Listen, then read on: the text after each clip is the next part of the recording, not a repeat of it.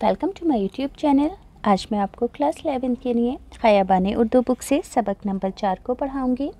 Exam से मुतालिक पूरे ही चैप्टर की 100 परसेंट तैयारी करवाऊँगी। थोड़ा भी टाइम वेस्ट नहीं करूँगी तो बिना टाइम वेस्ट किए पढ़ना स्टार्ट करते हैं। सबक नंबर चार का नाम है मादर वतन, और ये चैप्टर एक नज़म है, और इस नज़म के शायर है सुरूर जहाँ आबादी। याद रहेगा, मादर वतन नज़म को किसने लिखा है? सुरूर जहाँ आबादी ने। अब जैसा कि आप सभी जानते हैं, एग्ज़ाम में किसी भी शायर का तारुफ आपसे ज़रूर पूछा जाएगा तो सबसे पहले हम शायर के तारुफ को समझेंगे। सुरूर जहान आबादी इनकी पैदाइश 1873 में हुई और इनका इंतकाल 1910 में हुआ। याद रख पाओगे कि पैदाइश 1873 और इंतकाल 1910 में हुआ। अब मैं सभी बच्चों को याद करने का, ज़िंदगी भर याद करने का किसी भी चीज़ को एक बहुत अच्छा तरीका समझाती हूँ। अब देखो, जैसे कि आपको ये सन याद करना है तो किसी भी चीज़ को याद करने का तरीका क्या होता है? दिमाग के अंदर अपनी रिवीजन पावर को आपको बढ़ाना है। तो आप इतने पार्ट का स्क्रीनशॉट लेंगे और इसकी ज़्यादा से ज़्यादा रिवीजन करेंगे। जब आपका दिमाग रिवीजन करने की रिपीट करने की हैबिट को सीख जाएगा तो स्टार्टिंग में तो थोड़ा सा टाइम लगता है, मगर इससे क्या होगा, जो आपके दिमाग की याद करने की कुत है, सलाहियत है, वो बहुत ज़्यादा फास्ट हो जाएगी और आप एक दो बार के अंदर ही पढ़कर किसी भी चीज़ को याद रख पाओगे। तो अब पढ़ना याद स्टार्ट करते हैं। दुर्गा सहाय, सुरूर जहानाबाद, ज़िला पीलीभीत के रहने वाले थे। इनका असल नाम क्या था? दुर्गा सहाय, सुरूर और ये जहानाबाद ज़िला पीलीभीत के रहने वाले थे। सुरूर के वालिद साहब मुंशी प्यारे लाल तिबाबत करते थे, यानी कि मेडिकल से रिलेटेड, डॉक्टरी से रिलेटेड काम करते थे, हकीम थे। आ, घर में फ़ारसी और इनके उर्दू का चर्चा था। फ़ारसी और उर्दू का जो इल्म था, वो ज़्यादा अहमियत रखता था इनके घर में। लड़कपन से ही शेर व सुकन की तरफ़ ये माइल हो गए थे मुतवजा हो गए थे। शेर सुखन का मतलब क्या है? शायरी करना। अदीब और मुखसन में इनका कलाम नुमाया तौर पर शाया होता था। किस किस आ, कौन कौन से रिसालों में? अदीब और मुखसन में इनके ज़रिए लिखे गए जो लेख होते थे वो नुमाया तौर पर शाया होता था। एन जवानी में आ, इनकी बीवी का इंतकाल हो गया और एक साल का एक लोता बेटा था इनका। वो भी दागे मफारकत दे गए यानी कि उसका भी इंतकाल हो गया। इन सदमात का इनके दिलो दिमाग पर शदीद असर हुआ। ये हर वक्त गम में रहने लगे थे। बिल आखिर सैंतीस साल की उम्र में ये इस दुनिया से रुखसत हो गए। सुरूर जहाँ आबादी उठते बैठते शायरी में मगन रहते थे, इन्होंने अगरचे गज़लें भी कही हैं, लेकिन नज़म को नज़म लिखने वाले शायरों की हैसियत से ये ज़्यादा मशहूर हुए हैं अपनी नज़मों की वजह से। सच्चे वतन परस्त थे वतनी और कौमी मौजूद पर डूब कर लिखा करते थे, तारीफ़ करते थे वतन की बहुत ज़्यादा, मादरे वतन से अपने मोहब्बत करते थे और इसी पर ये शायरी भी करते थे, नज़में लिखते थे। इनके यहाँ हिंदुस्तान की मिट्टी और माहौल का गहरा एहसास है। इनकी शायरी फ़िज़ा में गंगा जमुना, कोयल, भवरा, पद्मिनी दामेंती हंस वगैरह के ज़िक्र ज़िक्र से ख़ास कैफियत पैदा होती है। ये वतन का तस्वुर माँ की हैसियत से करते हैं।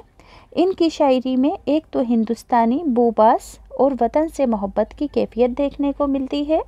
दूसरे गम नाकी का एहसास है, जो कि गहरी दर्दमंदी में ढल जाता है। इन्होंने हुसन फितरत पर भी बहुत अच्छी नज़में लिखी हैं। जाम सुरूर खम खाना सुरूर इनकी शायरी मजमुओं के नाम हैं। याद रखोगे कि जाम सरूर खम खाना सरूर, इनके शायरी कलेक्शंस के नाम हैं। अब बच्चों, जैसा कि आप जानते हैं कि एग्ज़ाम में नज़म का मरकज़ी ख़्याल किसी का भी लिखना ज़रूर आएगा तो नज़म का मरकज़ी ख़्याल आप एग्ज़ाम में किस तरीके से लिखोगे? मैं पढ़कर सुना देती हूँ। मरकज़ी ख़्याल का मतलब सभी बच्चे जानते हैं ना? कि मरकज़ी ख़्याल के ज़रिए शायर ने इस नज़म के अंदर क्या संदेश, क्या पैगाम दिया है? तो आप एग्ज़ाम में लिखोगे कि इस नज़म में सुरूर जहाँ आबादी ने मादरे वतन, यानी कि हिंदुस्तान भारत की खसूसियात, ख़ासियतें बयान की हैं। भारत की आबो हवा यहाँ की तहज़ीब, यानी कि कल्चर, दीन धर्म, मज़हब, हिमालय पहाड़ गंगा और यहाँ के फल व फूलों का तस्करा करते हुए मुल्क को एक ऐसी शफीक यानी कि शफकत देने वाली माँ करार दिया है, जो अपनी औलाद की गमख्वार है, गम में शामिल है और उन पर इंतहाई मेहरबान है। समझ में आ गया कि इस नज़म में शायर ने अपने देश की खूबियों को बयान किया है और माँ के रूप के अंदर बयान किया है। अब बच्चों, नज़म के अशार की तशरी लिखना सीखेंगे कि एग्ज़ाम में कैसे लिखोगे। तो सबसे पहले हम नज़म के पहले बंद को पढ़ेंगे। वाह ये जहाँ बख्श पानी, ये हवाएँ खुशखबार ये तरो ताज़ा शादाब व शीरी मेवा, हाय खुशखबार ठंडी ठंडी इतर में डूबी हुई बादे जुनूब, बाद यानी कि हवा। सब्ज खेतों की हवाएँ और ये मैदानों की दूब दूब यानी कि घास। ज़िले शफक्कत हो तेरा ए मादरे मुशफ़िक दराज, खाक पर क्या तेरी? तेरे मकीनों को है नाज। उफ, ये तेरी चांदनी रातों की चांदनी रातों के मंज़र खुशनुमा, वहाँ ये अशजार यानी कि पेड़, ये फूलों के जेवर खुशनुमा। तो सबसे पहले आपको क्या लिखना है? सयाको सबाक की दर्ज बाला अशार सरूर जहाँ आबादी की नज़म मादरे वतन से लिए गए हैं। अब तशरी कैसे लिखोगे? तो देखो तशरी के अंदर सरफ सरूर, जहाँ आबादी इस नज़म में अपने वतन भारत की खूबियाँ बयान करते हुए लिखते हैं कि वतन एक माँ की तरह होता है, इसलिए हम इसे मादर वतन कहते हैं। पहले शहर में वो वतन की तारीफ़ बयान करते हैं कि कि वो मेरे वतन का पानी कितना जा बख्श जा देने वाला है और इसमें चलने वाली हवा भी बहुत खुशगवार है। मेरे वतन के मेवे और मेरे वतन का पा, पानी कितना जा, आ, मेरे वतन के मेवे तरोताज़ा शीरी और खुश जायका हैं। जुनूब की सिमत से चलने वाली ठंडी ठंडी हवा में खुशबू बसी हुई है। हरे भरे खेतों की हवाएँ और मैदानों में नरम घास की बहार है। आगे है तीसरे शेर में सरूर जहाँ आबादी कहते हैं कि ए शफीक व मेहरबान माँ तेरी शफकत का साया। आ, दराज हो तेरी खाक पर रहने वाले को तुझ पर कितना नाज है। तेरी चांदनी रातों के मंज़र भी हसीन होते हैं। दरख्तों पर खिलने वाले फूल खुशनुमा जेवर की तरह होते हैं कि मानंद होते हैं। अब है अगला बंद, दूसरा बंद है। सो तबस्सुम, तेरे अंदाज़े तकल्लुम पर निसार, यानी कि तबस्सुम किसे कहते हैं? फूलों को तकल्लुम, यानी कि बातचीत करने पर। दिल को करती है तेरी दिलकश सदाएँ, बरकरार सदा, यानी कि आवाज़। सरजमीन ऐश है ए मादरे दिल। सूज तू, आरजुओं की है बज़म। इबनस्त और अफरोज तू। तू तू जवानों की है हिम्मत, तू दलेरों की सपीर। कांपते हैं दुश्मनों के, तेरी हैयत से जिगर। नूर दानिश तू, फ़रोग़ जलवाए है तू। दिल हेतु सरमाया सबरवा। कशीब चाहे तू। तो सबसे पहले आपको सया को सबाक लिखना है और फिर तशरी लिखोगे कि सरूर जहाबादी का कहना है कि, ए मादरे वतन, तेरी गुफ्तगु पर, मुस्कुराहटों पर कुर्बान तेरी दिलकश सदाएँ हमारे दिलों को बेकरार कर देती हैं। यहाँ शायर की मुराद मुल्क की पुरकेफ, यानी कि पुरलुत्फ फ़िज़ा से है। वो कहता है कि ये हमारे देश की सरज़मीन, हमारे लिए ऐशो आराम की रहने की जगह है। ये सरज़मीन खुशियों से भरी एक बज़म की मानंद है, जहाँ हमारी आरजुएँ पूरी होती हैं। ए मादरे वतन तो नौजवानों के लिए हौसला और बहादुरों के लिए ढाल का काम देती है। तेरी हैयत से दुश्मनों के जिगर कांपते हैं तेरी बनावट से। यहाँ हैयत से मुराद हिमालय पहाड़ से है कि दुश्मन भी हिमालय पहाड़ से डरते हैं। शायर का कहना है कि इस सरजमीन से अकल व फहम की रोशनी फैलती है और ईमान को तोक़ियत यानी कि ताकत मिलती है। यह सरजमीन का ऐसा दिल है जिसमें सब्र व इस्तलाल का सरमाया है। अब तीसरा बंद है पढ़कर सुनाती हूँ। क़ुव्वत बाजू, यानी कि बाजू की क़ुव्वत है मेरी, मादरे गम खुआर हेतु गम में शरीक होने वाली हेतु सीनाए पुरगम में मेरे है नफ्स का तार तू, यानी कि गम में मेरे साथ देने वाली हेतु तेरा देव स्थान, देवी दिल के कशाने में है, तेरी तस्वीर मुक़द्दस हर सनम खाने में है। सरस्वती का रूप है, दुर्गा का है अवतार तो।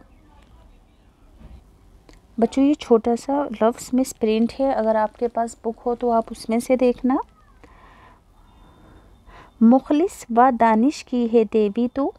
मुखलिस तो नहीं होगा ये एक बार और ट्राई करती हूँ। आप इसे एक बार अपना आ, बुक में से देखना कि क्या लिखा है। व दानिश की है देवी मादरे गम खुआर तो। वह ये सुंदर सुंदर छप तेरी ये सांवली सूरत तेरी, दिल के मंदिर की है जीनत, मोहिनी मूरत तेरी। तो सबसे पहले सया को सबाक लिख देना और फिर तब तशरी लिखना एग्ज़ाम में। लिखोगे कि आ सरवर जहाँ आबादी कहते हैं कि, ए मादरे, गम ख्वार तू मेरी बाजुओं की कुवत भी है और मेरे हर गम में तो तेरा वजूद एक सांस की तरह है। यानी जिस तरह आते जाते साथ से ज़िंदगी का पता चलता है, उसी तरह मादरे वतन मेरे साथ जुड़ा हुआ है।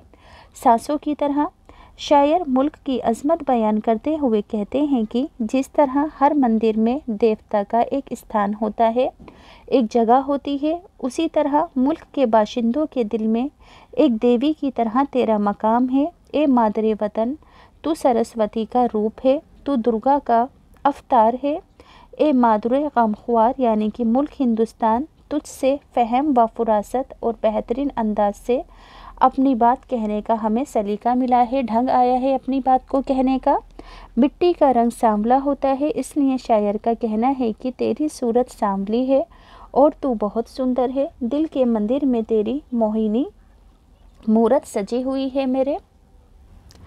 आगे है ये तबस्सुम, हाय शीरी, ये अदाएँ दिल नवाज़, वहाँ ये शफ़क़त भरी, तेरी सदाएँ दिल नवाज़।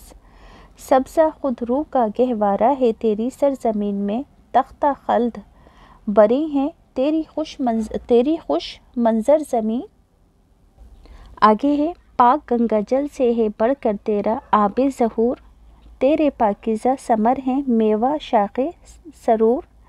आसमां के नूर की है, जलवा गाहे नाज तू खल्द की है पाक देवी, मादर दम साज तू खल्द यानी कि जन्नत की तो सया को सबाक लिखने के बाद तशरी लिखोगे कि शायर ने वतन को एक माँ करार देकर मीठी मुस्कुराहट और दिल नवाज़ अदाओं की तारीफ़ की है कि, ए माँ तो किस कदर शफीक है? तेरी हर आरज़ू दिल को तोक़ियत, ताकत बख्शती है। यहाँ सदाए दिल नवाज़ से मुराद मुल्क के आबशारों से यानी कि पहाड़ों से झरनों से गिरने वाले पानी की आवाज़ों के लिए कहा गया है।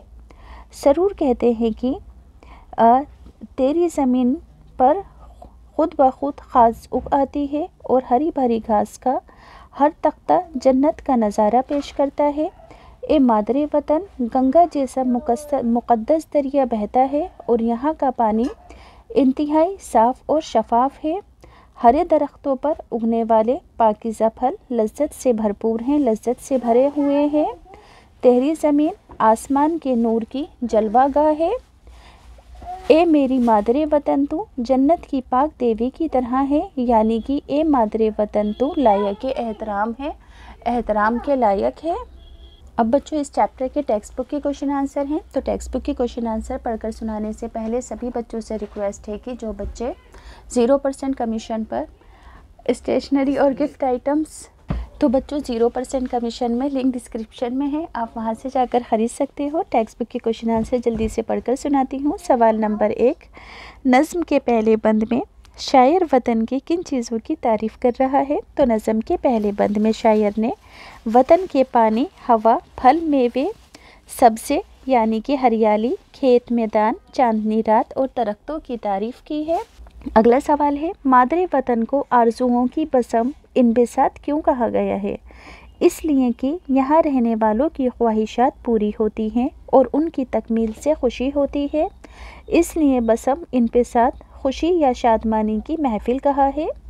अगला सवाल है, मादरे वतन को क़वत बाजू और गम खुआर कहने से शायर की क्या मुराद है? तो किसी भी मुल्क के बाशिंदे अपने वतन में ख़ुद को महफूज और ताकतवर समझते हैं। और ताकतवर आदमी के बाजू मज़बूत और तवानाई से भरपूर होते हैं, तवाना होते हैं, ताकतवर होते हैं, इसलिए शायर ने वतन को अपनी क़वत बाजू कहा है। और वतन में ही रहकर उसके दुख और गम का इलाज होता है। इसलिए शायर को वतन ने शायर ने वतन को गम ख्वार करार दिया है। गम में शामिल होने वाला, शरीक होने वाला शायर को अगला सवाल है, शायर को वतन का जलवा कहाँ कहाँ नज़र आता है?